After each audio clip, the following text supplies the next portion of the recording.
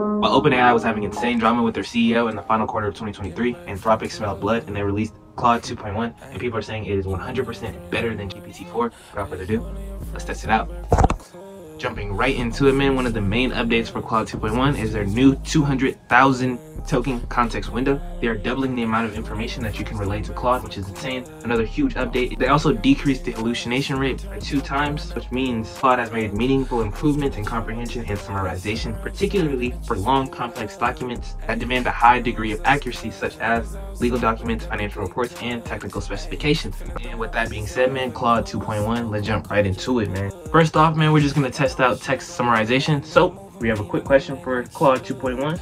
We're gonna ask it to explain antibiotics versus antiseptics. Let's see how comprehensive it is. That wasn't even a second, man. Claude 2.1 gets right to business. Just start putting in work, puts his hat on, gets his lunch pail, and just starts putting in work. As you can see, antibiotics work systematically. They're specific. Antiseptics work locally. Antiseptics are broad spectrum, which means they work against a wide range of bacteria, viruses, and fungi. Absolutely insane knowledge. All right, we have another prompt about antibiotics. Basically, we have a little text prompt, and we're gonna ask it to analyze the above sentence.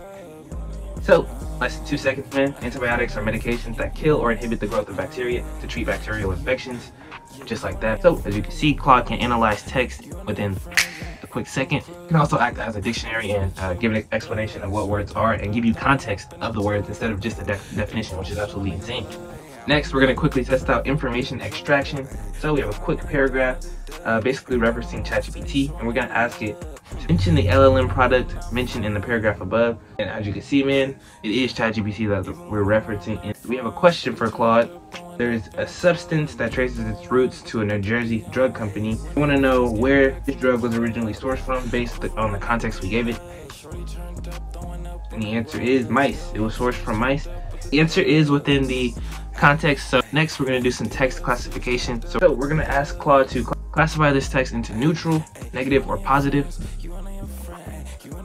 So bam man, as you can see, there is both a negative and positive element mentioned which is absolutely correct. So Claude is definitely proficient at text classification.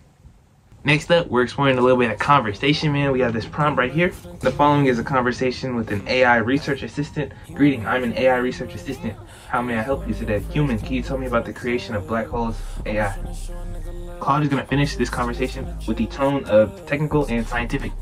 And basically, man, as you can see, they answered the prompt, but it is more conversational makes it a little bit more easy to understand rather than them just giving us a definition or an answer. If you'd like to understand a prompt maybe a little more concise or a little simpler terms, man, you could use conversation prompts and just like that, Claude will adjust.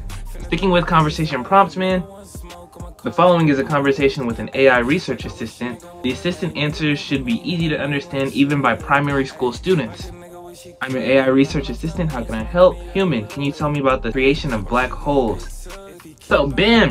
Hello. Black holes are created when a really big old star dies. The star runs out of fuel and then shrinks down, down, down until it's incredibly tiny. The gravity gets so mighty that even light can't escape it. That's why black holes are black. Anything that comes near it gets pulled inside. Next, man, we're gonna ask a quick question about code. So, ask the user their name and say hello.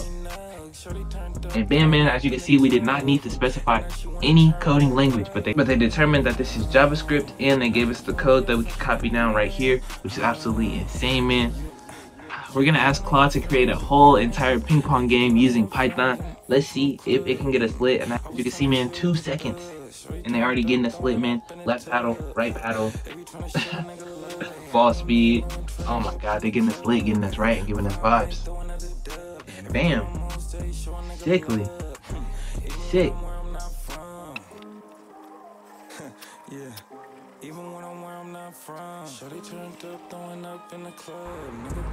And just like that, man, you can see our Python game is here on the screen. Claude 2.1 is very, very capable, more than capable, as you can see.